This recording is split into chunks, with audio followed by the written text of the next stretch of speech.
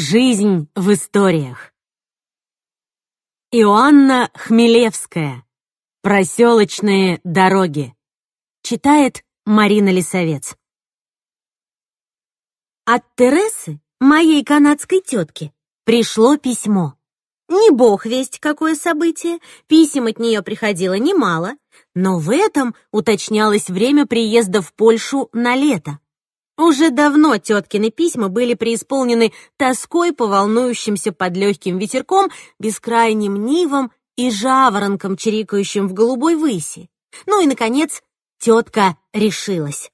Самолет, доставляющий группу канадских поляков и нашу Тересу, прибывал в аэропорт Окенче 14 июня в полвосьмого утра.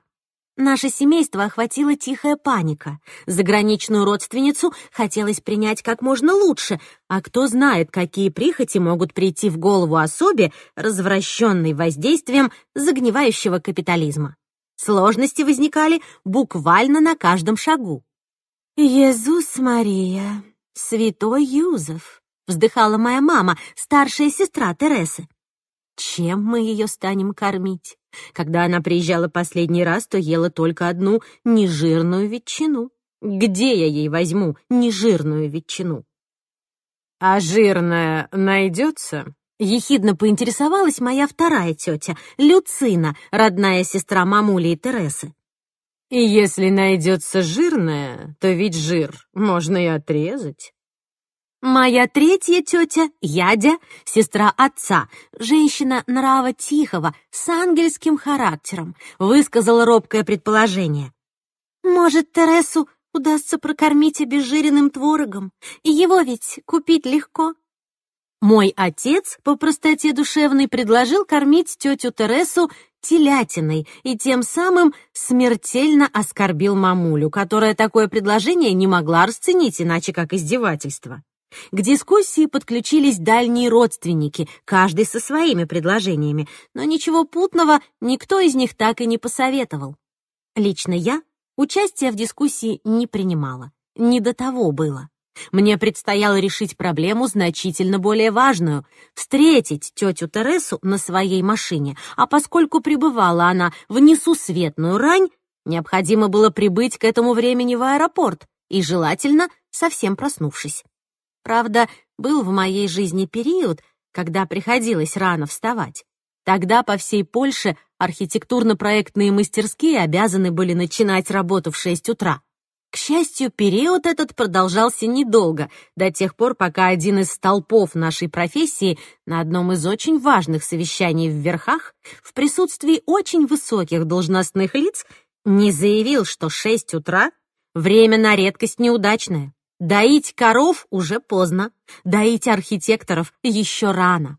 Заявление было принято к сведению. Начало работы мастерских перенесли на более позднее время. Однако с той поры прошло пять лет, а за эти годы я как-то привыкла встречать рассветы, так сказать, с другой стороны. За оставшееся до приезда тетки время пришлось потренироваться. В результате тренировок я кое-как приучила себя к раннему вставанию. И в урочный день, 14 июня, в 7.15 уже была готова выйти из дому. Телефонный звонок заставил меня вернуться от входной двери. Звонил отец.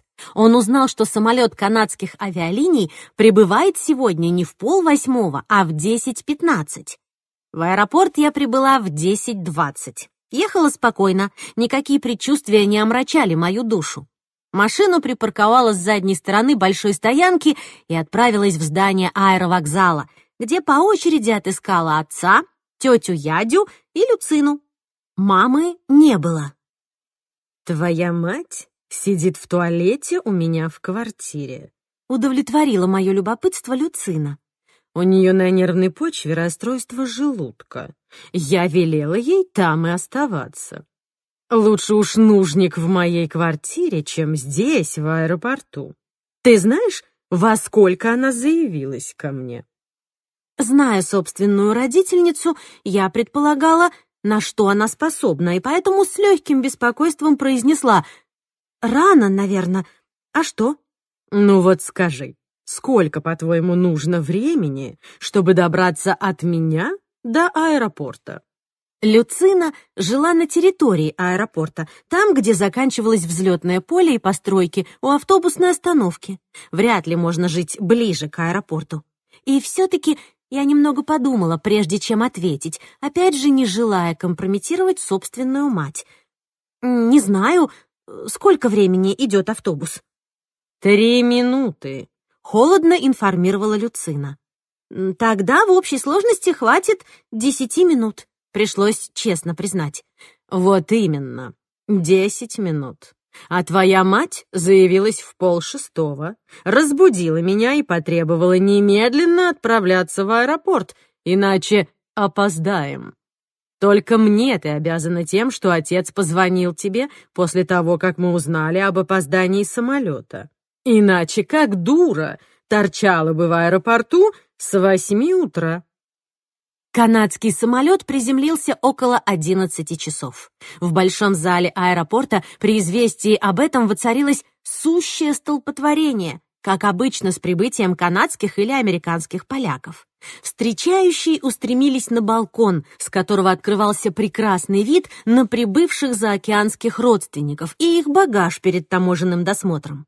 Я тоже устремилась, и мне даже удалось протолкаться к самому барьеру, «Вижу Тересу!» Громким криком известила я своих. «В красной кепке, у самого выхода! Похоже, первая пройдет таможню! Люцина, быстро вниз!» С трудом пробившись сквозь толпу на балкон, я тоже бросилась вниз, к двери, через которую по одному выпускали пассажиров, прошедших таможенный досмотр.